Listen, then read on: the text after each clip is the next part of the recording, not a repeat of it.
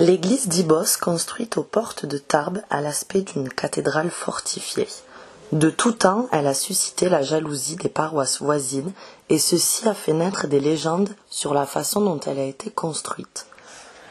Les habitants de Tarbes, en particulier, incitèrent ce Dibos à déplacer leur église pour qu'on puisse la voir de toute la Bigorre.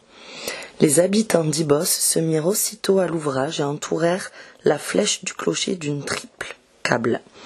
Ils tirèrent, mais le câble qui était en laine se cassa et ils tombèrent à la renverse, les uns sur les autres. Ils étaient tellement emmêlés qu'ils ne reconnaissaient même pas leurs jambes. Ils n'arrivaient pas à se sortir de cet imbroglio lorsqu'un charretier d'Aussin passa par là.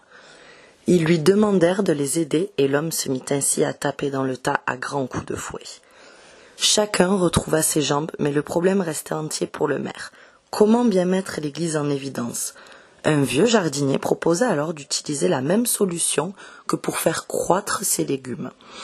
Il fallait utiliser du fumier pour faire grandir le clocher. Les villageois s'attelèrent à la tâche, mais le procédé ne donna aucun résultat. Le curé intervint à son tour et dit que pour que l'église grandisse, il fallait qu'elle ait chaud. Il fallait donc la couvrir de haut en bas, de tentures et de draperies. Ni une ni deux, les paroissiens la couvrirent donc de tissu de pied en cap. Le dimanche suivant, en allant à la messe, paroissiens trouvèrent que leur église avait grandi.